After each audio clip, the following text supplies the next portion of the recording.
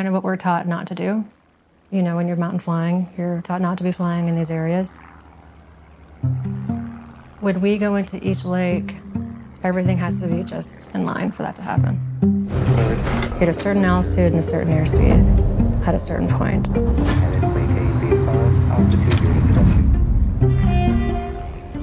The further along that you go into the cirque and the closer that you get to that lake, the less options you have. As a pilot flying in the backcountry, you don't give away your options.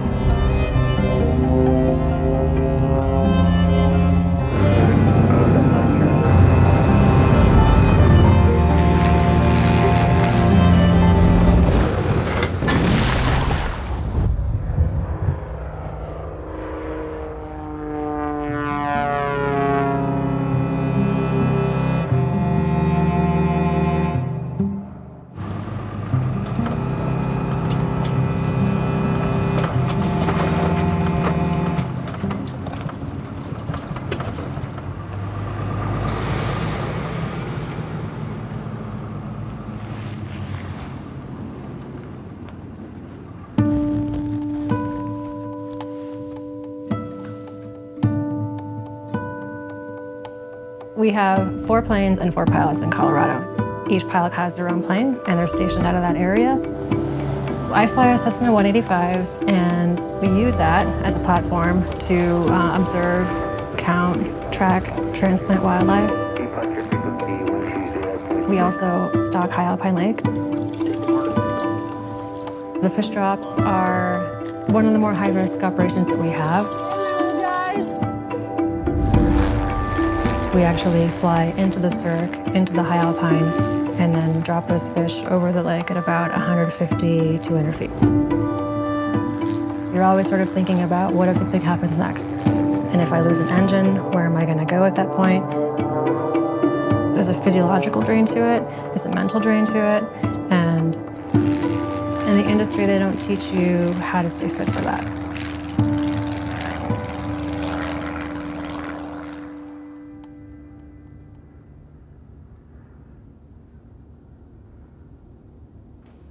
When I first started working in Alaska, I had all the comments. Oh, you must be the flight attendant. Where's the captain? Or you look just as young as my daughter. Are you strong enough to handle the airplane? Just all these things that sort of put you in that box. It was challenging in the beginning, but I was also myself going through challenging things too. So I think being a woman in a male dominated field really wasn't the hardest thing that I had to deal with. So I used to tell people that I started flying because I took a lesson when I was 17 or 18 and I got hooked. And I just couldn't stop thinking about it. And it was actually a lie. um, I actually started thinking about flying when I was eight.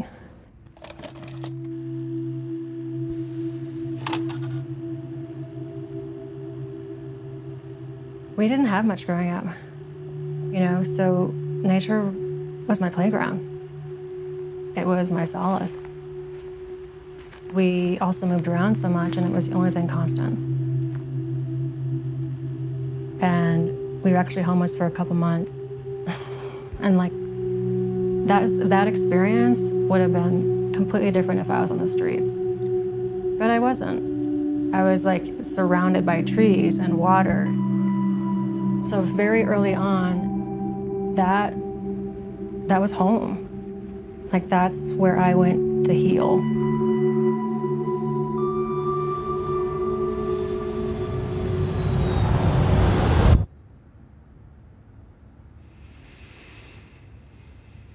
I have a history of abuse, and it started when I was eight years old. I had three different people throughout my childhood um, abuse me the hardest thing was that it wasn't talked about ever again. So for me, dealing with that was dissociation. And I would fantasize I was fine. You know, they say you fight, you fight or you freeze. while I was in those traumatic experiences, I froze. But sort of my alter ego was strong enough to fly away.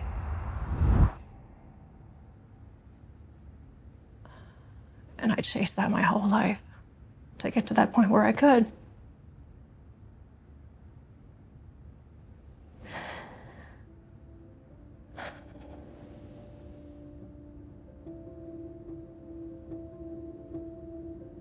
And so that's why I learned how to fly.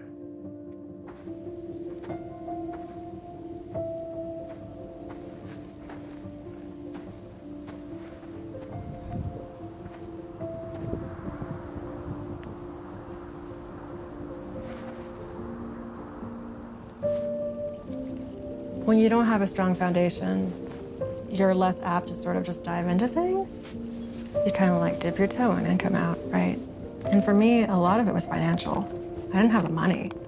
And so I would save the money and I would start flight training and not have money anymore. And then I would save up money and then I would start flight training and the flight school closed.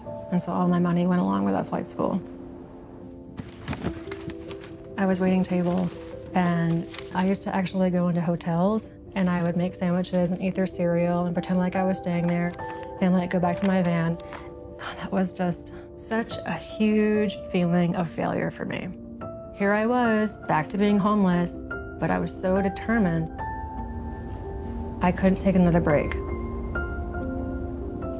It really was like this fail, try again, fail, try again, fail, try again.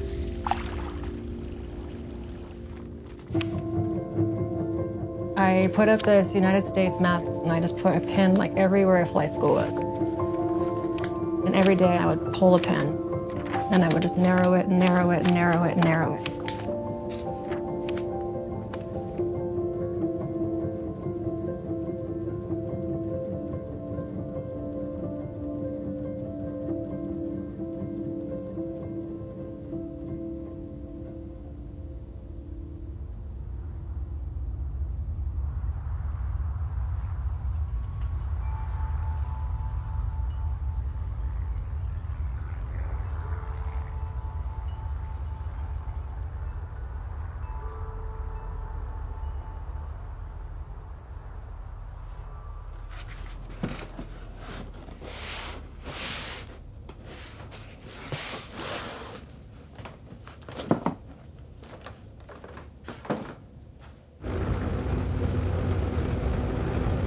We should We have a couple here. All of these animals have a VHF collar for this long-term study on mule deer. So by applying them every week and a half, week or so, we can make sure that we're not losing the animals. These are the mountains that I first learned how to fly in. When I took my first flight lesson, you take off and then all of a sudden everything is so small. You know, we just passed over that little town. And you look at every little house, and every little house has their own story and their own photo album and their own history, and it's pretty magical. There's not many people that get to do this. Oh, there we go. 150, 140. That.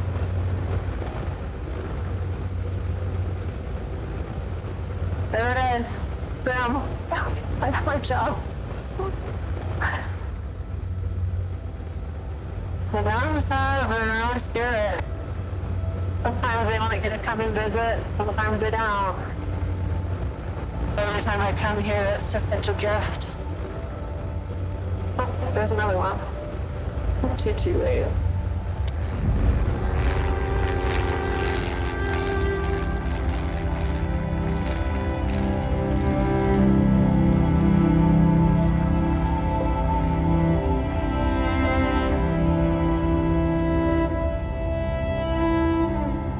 There really is this sort of sole ownership of your health as a pilot. And I really don't think that you're physically fit unless you're mentally fit. A lot of pilots are afraid to talk openly about their mental health. That fear of, if I ask for help, there's that stigma. I think my past made me stronger in the cockpit learning how to manage that stress. When I started flight training, I realized pretty quickly that I had unresolved things from my past. There was no way that I could have showed up for work and gotten to an airplane if I didn't heal that part of myself. I realized healthy ways to get through those dark moments, and that is by far asking for help. That's when I feel like I was making moves in the right direction. Something's shifting here, something's moving.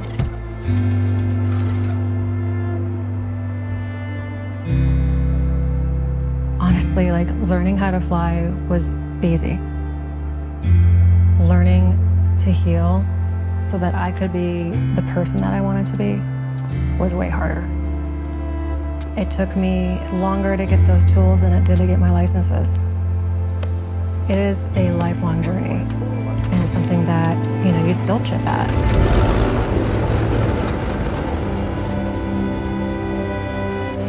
Clearance, good morning, Tower, good for Oakland Charlie. With Anus Flying, departure,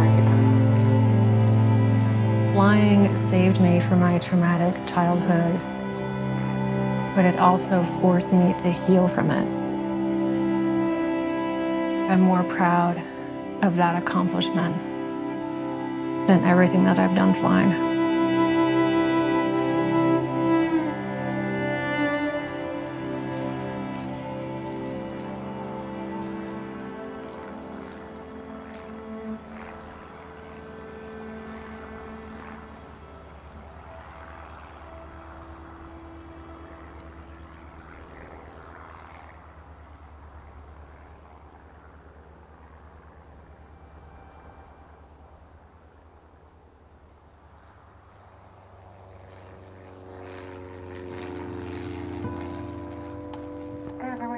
And then we're getting altitude discretion, 120.7.